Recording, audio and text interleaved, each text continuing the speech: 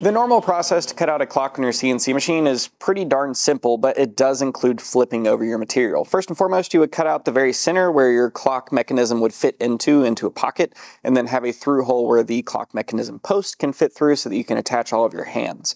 Well, next you would flip over the material, and then you would go ahead and cut out numbers, you know, 1 through 12, and that would be your finished clock. The great thing about clocks is a lot of people just use them as decor and don't even really need them to function as a clock, so you can just not do the mechanism part and just carve on the face. But today we're doing something special. We're going to be cutting out a clock that functions as a clock without flipping it over. So instead of having numbers carved on the other side, we're going to be doing through cuts so that you can quickly and easily at a glance look over at the clock and see where the hands are lined up based on the fact that there's no material there. So that'll make more sense in a second. But I really wanted to be able to go at this in the beginner's route because if you've never flipped apart on your CNC machine, that can be be incredibly daunting. So first and foremost, this episode is going to be completely dedicated to the no flip clock. And then later in the year, I'm going to be having clocks where we are going to be flipping our part over so that you can start getting used to the fact that yes, you can flip over parts on your CNC machine and there's a lot of things that can go wrong, but it's not really that difficult. But today we're only focusing on the no flip clock. So we're only going to be using one of the three bits that you need to CNC with me, the downtown Jenny. And I'm the first person to go ahead and say that is not the right bit for this. One of the really cool things about this channel is you only need three bits to CNC with me, and we're sticking with that. I am not changing the bit, but there are some caveats that we need to go ahead and work through so that we get a really good finished product.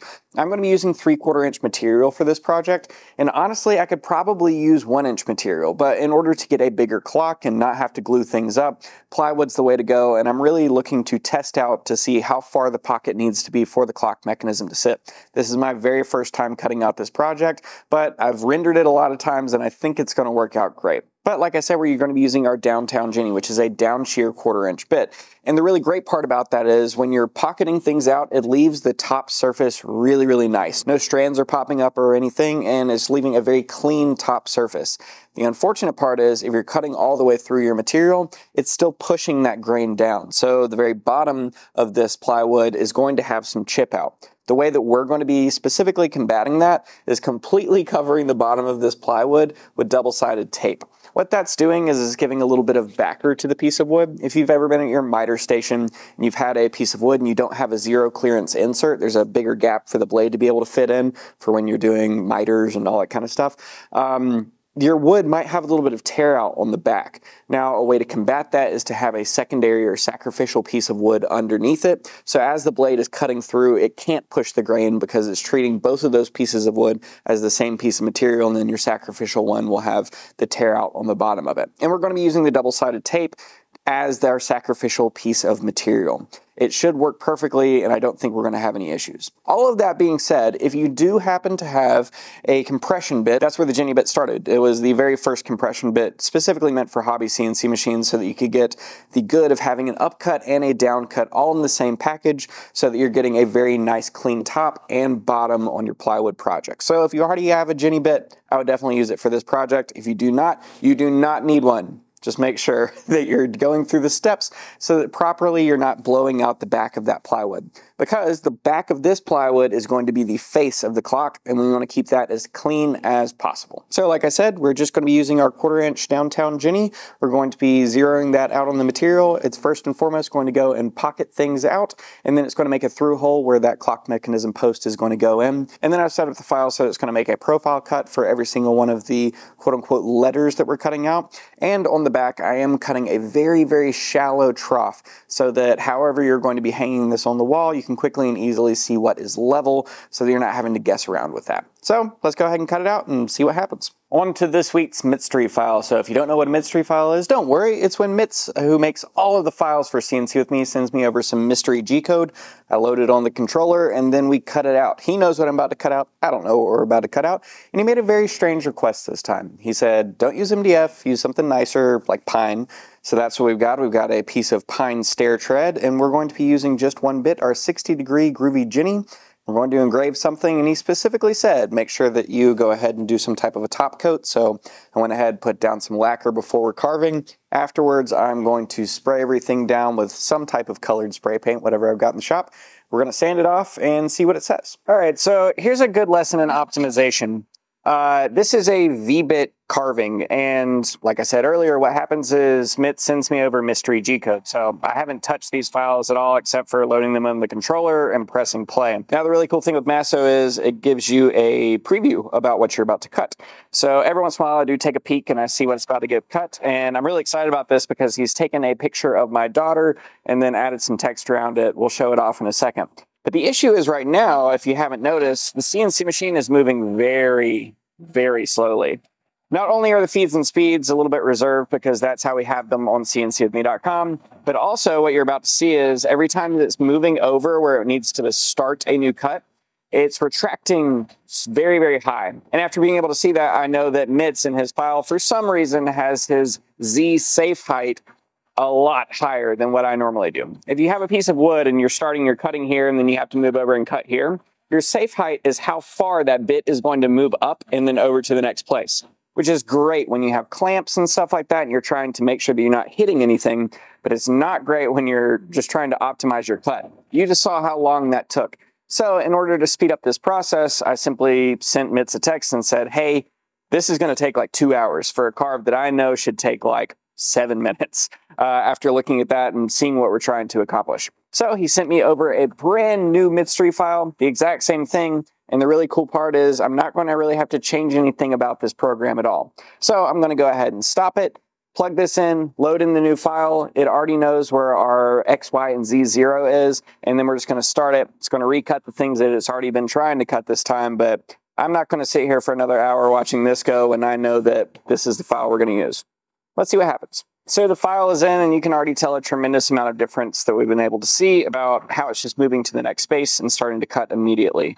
A very simple thing like that for brand new beginners is, you know, killing your day because you start getting here and you think, why is this thing taking two hours long? But it could be something just as simple as making sure that your Z safety height is set correctly uh, for mine, I normally set them at 0.1 or 0.05, especially when I use my double-sided tape and I don't have any types of clamps running around. If you do have clamps all over your thing, you might want to be able to set your Z height a lot higher, but that does add on a lot of time to your carving. Umit says, if daddy can't fix it, no one can which I really appreciate, Mitz, but that's so far from the truth. There's so many things I can't fix. I hire people to do things all the time. I'm pretty good at making stuff. Fixing stuff?